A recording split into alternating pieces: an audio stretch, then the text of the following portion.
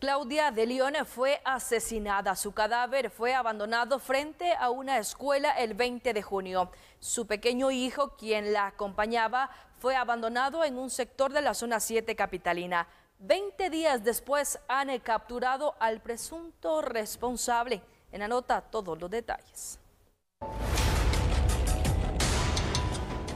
El domingo 20 de junio, las autoridades reportaron el hallazgo de una mujer fallecida frente a una escuela en zona 11.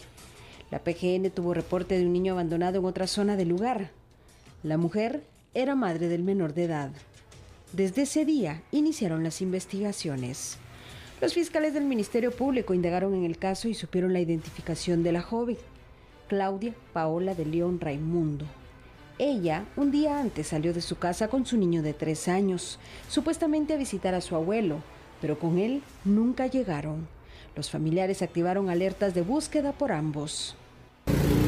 Aprovecharon el momento justo para dejar el cuerpo frente a esta escuela, pero no se dieron cuenta que estaban siendo grabados.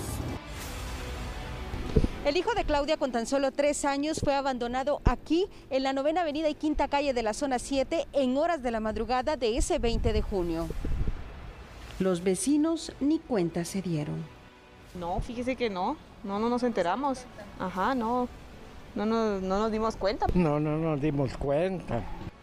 Han pasado más de 20 días y este lunes se logró la detención de Byron de León, sospechoso del crimen. Además, se cree que fue en esta casa donde la mataron. Se trata del señor Byron Antonio de León Poroj, con quien se logró establecer, derivado de la investigación, que la víctima tenía una relación con el, con el hoy sindicado y se logró establecer también de que le, le, pudo haber ocasionado la muerte a través de estrangulamiento de conformidad con el análisis forense que ya otorgó INASIF.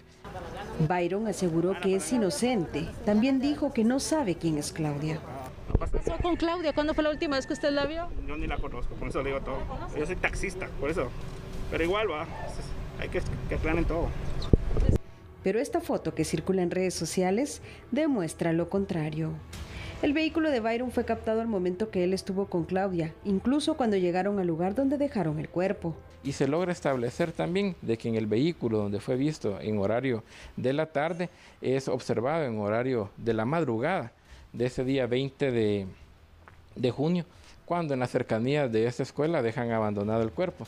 La joven de 20 años murió por asfixia por estrangulamiento, pero tenía fractura de vértebra del coxis y la posición o forma encontrada fue algo inusual a lo acostumbrado, según el fiscal.